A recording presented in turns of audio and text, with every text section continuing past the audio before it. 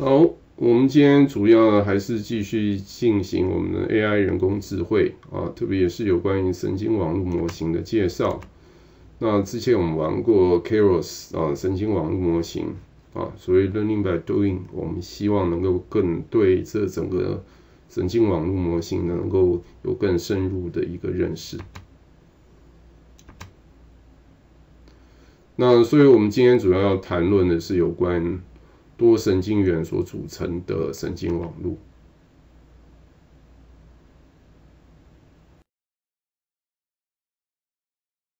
好，各位好，那我们今天继续是介绍我们的课程，哈，有关于 AI 人工智慧，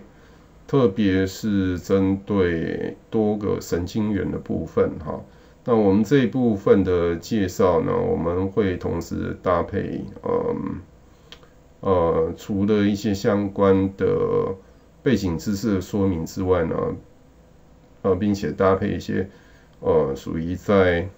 呃 NumPy 啊 Python 这个呃快速运算的套件上面一些实作的一些情况啊，做一些简单的一个介绍。好，那我们就。把画面切到我们的简报，好，那我们这里针对呃论拍的啊，然后矩阵的乘法部分呢，我们再做一个比较强化的一个说明，好，那在这边的话，好，我们看一下，好，那。这里当然就是我们在实作的部分哈，这边我们当然知道啊，这边 at 的话，这基本上它其实就是一个啊 matrix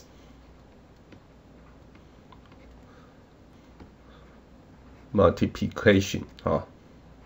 它一个矩阵乘法啊，这个一般来讲哈，它是在使用上蛮方便的。那我们在实作部分呢，呃，我们如果是不想写太多字啊，这边当然就点大 T 啊，或者是点 transpose 啊，但这边你要加上圆刮弧，然后我们在第三行的地方列印啊，所以这个是我们的一个结果。好，那我们要看它的形态，那形态当然它是。啊，在 NumPy 当中的一个阵列啊，那这接下来我们来看它的 shape。那这个 W 的话，它很清楚哈，它在这里的话，它是三二，所以原则上它这里，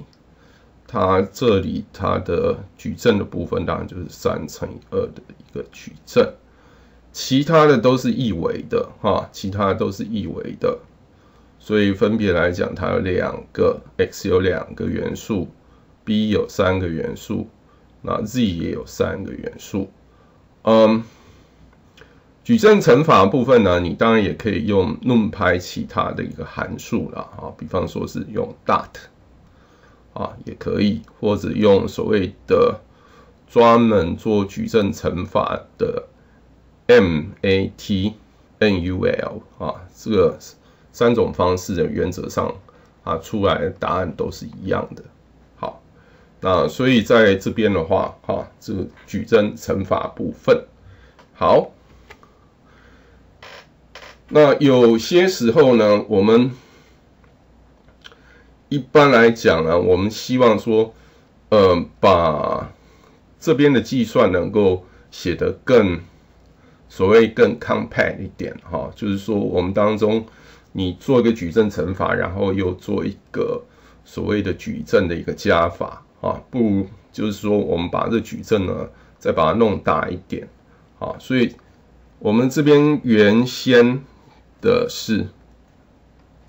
这边摆的是 W one、W two、W three，那我们将这个矩阵的右边啊，那我们这里再加上一个 column。加上一个 column 之后呢，它就会变成一个三乘三的啊。这边我们分别加的就是呃 B 零、B 一、B 二。这边我们矩阵呢，我们就会稍微把它扩张一点。然后 x 的部分呢，我们在后面部分呢，我们这边呃，我们这边是用也是用 array 的方式嘛，所以你在 x 后 x 的这边的后面，你再加一个一啊，所以这这到时候的一个计算啊，它就变 s one s two。这边来一个一，然后你这边再做一个矩阵的乘法，那出来的结果其实跟我们在左边的一个计算是完全是相同的啊，所以我们这边其实在右边这边所显示出来的答案啊，跟这边其实是完全是相同的啊。这边我们对针对论拍的一个矩阵乘法，我们再做一些。额外的一些说明，好，那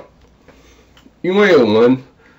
之前考虑的就是啊一样啊，跟我们这边所讨论的也都是在讨论所谓的密集神经网络的啊一个运算。啊，只不过说在这边的话，它是多了所谓一个分类啊分类部分，那在分类部分呢？所以它有可能在这边来讲，它可能有三种结果。呃，这个部分呢，我们一般来说的话，大部分来讲就是用一般的所谓 softmax 来当成它的所谓它的 activation function。好，那 softmax 呢，这个基本上只要是呃机器学习或 AI 人工智慧，你在做。呃，一些分类的时候，它会经常会使用到，啊，所以我们呃也打算呢，针对这个部分呢，我们再做进一步的一个说明。好，哦，我们以这个例子来讲好了。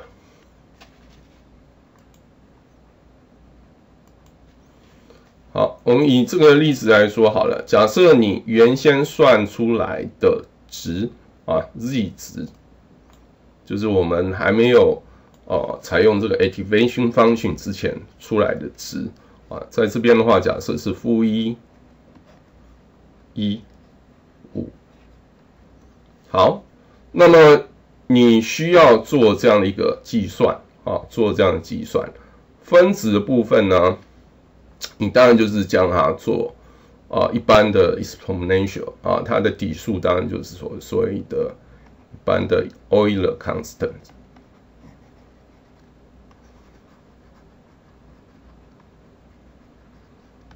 好，那这个当然在实作上，当然来讲，我们当然会建议你就直接用呃 NumPy 当中当中的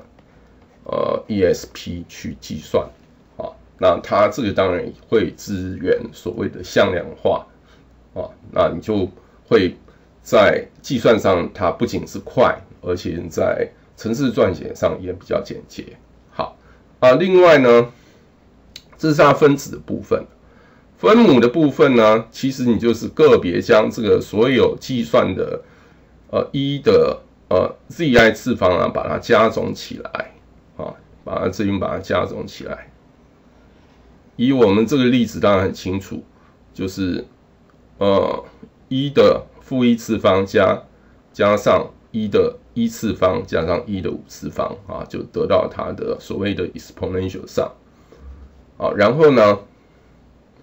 你各各项呢分别去算啊，这个就是我们出来的啊所谓的 soft mass 啊啊，这个在呃特别是有关分类的。呃，机器学习上呢是经常拿来当做啊 activation function。好，那我们这边看一个简单的一个例子哈，这个当然这个例子我们就找一般的例子就可以了。那像是这边啊，我们的所谓的，当然你要去汇入你的 NumPy 啊，假设它叫 NP。啊，这边你可以给任意一个清单，一般的 list 大就可以了。好，那我们因为这里采用是论拍啊，所以这这里呢，直接你就是向量化啊，所以一行就整个就出来，它的答案就会在这里就显示。好，这个部分呢，我们待会儿我们再来实做。好，那我们回过去讲，哦，就是我们之前。高阶透过呃 Keras 啊去实做的一些情况啊，这个这部分呢，我们必须还是要再去强调啊，毕竟我们实做还是尽量以高阶的方式啊来实做啊，像这个刚刚一些比较低阶的计算呢，我们也是让同学呃大概知道他怎么去计算啊，好，重点还是要把这些呃。神经网络层它怎么怎么去把它搭起来？这个这个是架构才比较重要。好，那在这个部分呢，我们当然知道前面它进来是有输入层，中间会有一些隐藏层，然后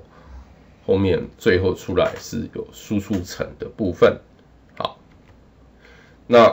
在这个部分，我们应该也是在之前的一个补充说明里面也有。啊，这个其实中透过 Keras 里面当中的一个指令，你也可以知道它的一个你所建立的啊这样的一个训练模型，它的一个架构啊，比方说我们这边都是所谓的密集层啊，这边都是密集层啊，最后输出的部分好。那这边很清楚，进来的话是七百八十四，七百八十四啊，所谓你的 input layer。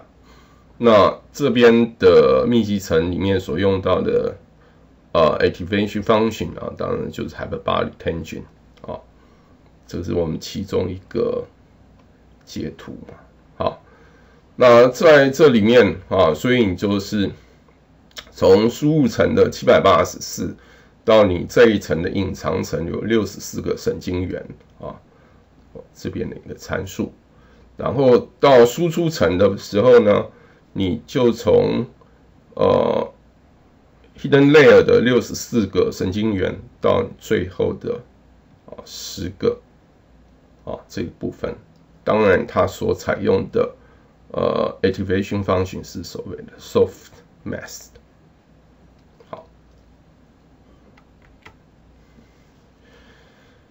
啊，这个部分呢，其实我们在实作上来讲，你其实就直接用 Keras 当中的一个叫做所谓的 Plot Model 啊，实际上大概就可以了。你要绘出这样的一个图啊，并不是很困难。当然，你这里有一些参数，你要你要去下啊，比方说像是呃 Show Shapes。这个地方里面设为 true 啊，有关于 show layer activations 啊，这个地方也是 show true 啊。如果说你要看其他参数啊，当然我们这边只是一个简易的截图啊，当然这边它会告诉你一些可能当中的一些可能的一些可能性啊。当然说你要很清楚的话，当然要去看它的呃。一般来讲，它的一个使用的一个呃概要啊，这部分我们就不去深入啊。当然，基本上到这里的话，我们大家就可以取得这样的一个资讯。这个是在实作上我们特别啊稍微强调一下。好，另外就是说你用了多少参数，这个其实你就。可以用 model 当中的一个方法，叫所谓的 summary，啊，这是它那当中一个 method，然后它就直直接告诉你哦，原来你的 model 啊就是 sequential，啊，开始我们就用 sequential 方式去建立，然后个别有哪些层啊，我们当中都是所谓的密集层，啊，这边它也会告诉你你的 shape。基本上啊，我们六十四个神经元啊，最后是十个分类。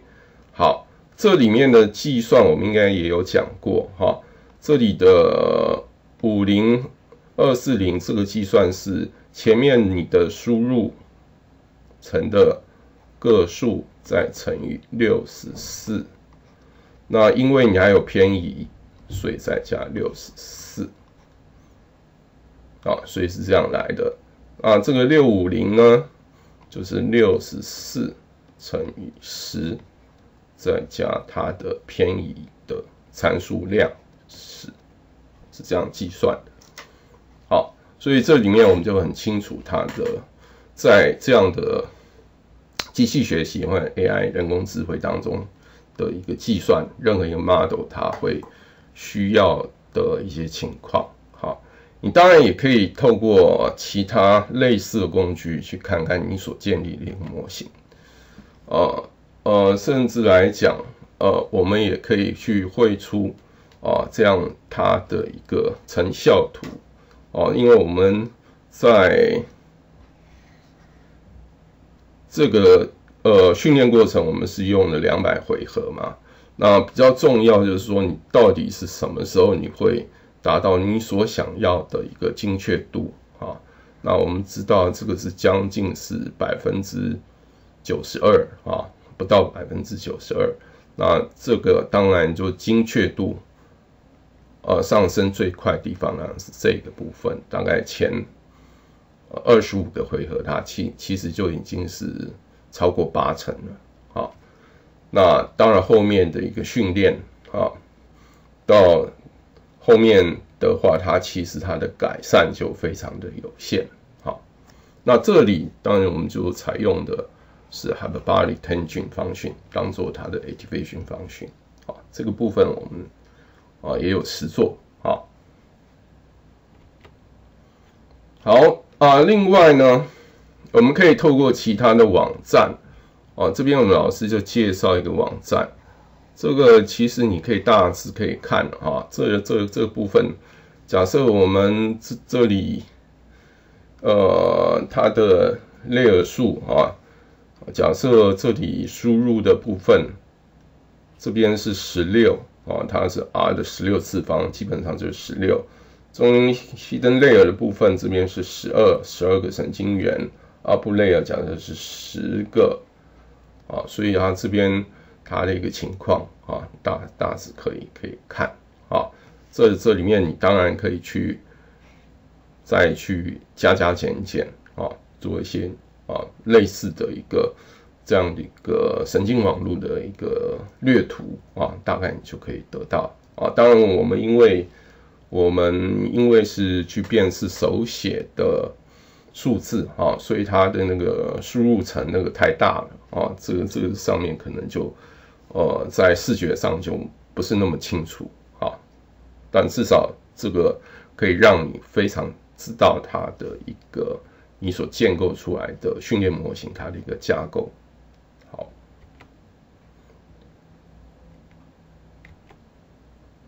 呃呃，这个部分我们应该也有提过啊，就是说，呃，当我们透过程式的手段呢，可以将你所得到的结果呢。能够在更进步的，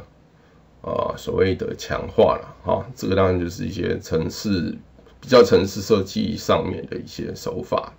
啊，在这边我们透过 Pipeline 啊，可以直接呢，我们将我们的一个呃训练好的 model 呢，我们就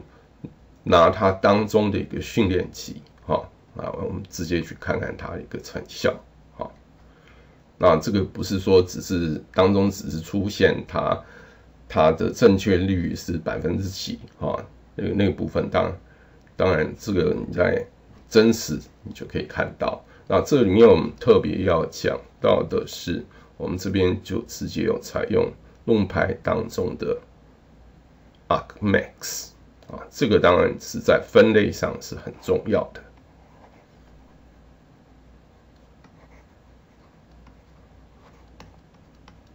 你当然就是找当中值最大的那个，好，这个部分。好，所以原则上我们就透过神经元去组成神经网络，然后一步一步去算出所谓的一个输出值啊，我们之前讲所谓的 white hat。好，好，我们接下来我们再看有关 softmax 上的一个呃软体上的一个实作啊，主要我们还是透过啊 Python 上的 NumPy 啊去实作。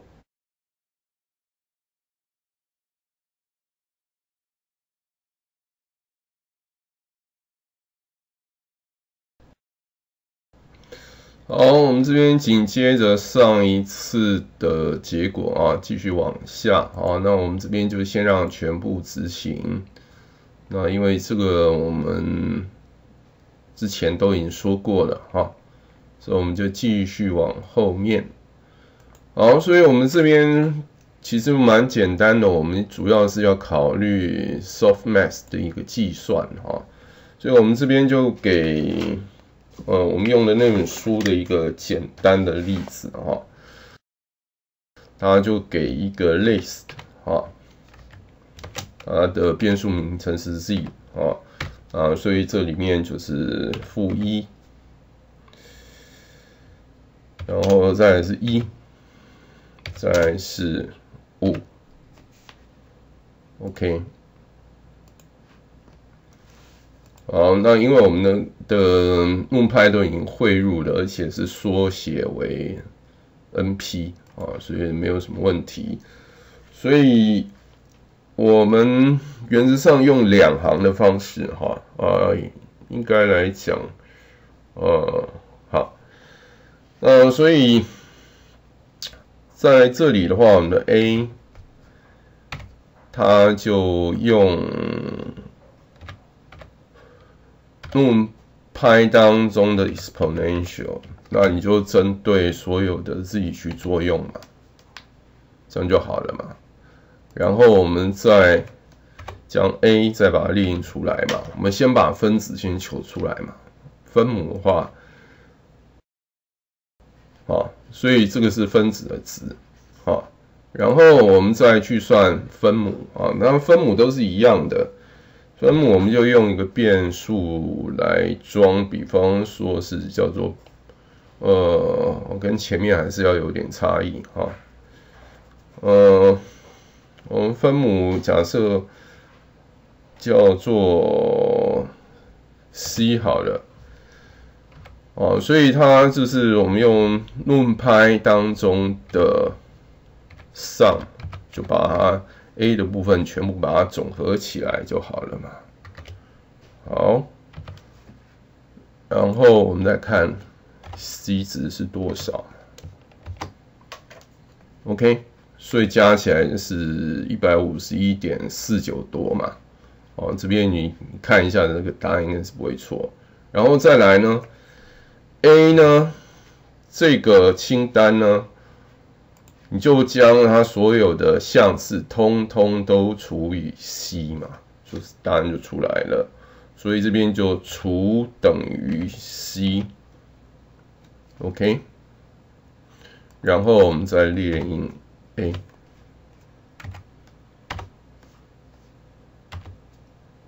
a，a 拉上来一点，好，再去执行。所以这个就是我们得到的答案好，呃，你看原先是五，它这里它的透过 softmax 的计算，它就是零点九七九六多。一的话，它是零点零一七九。负一的话，当然就很小了啊，就零点零零二四多。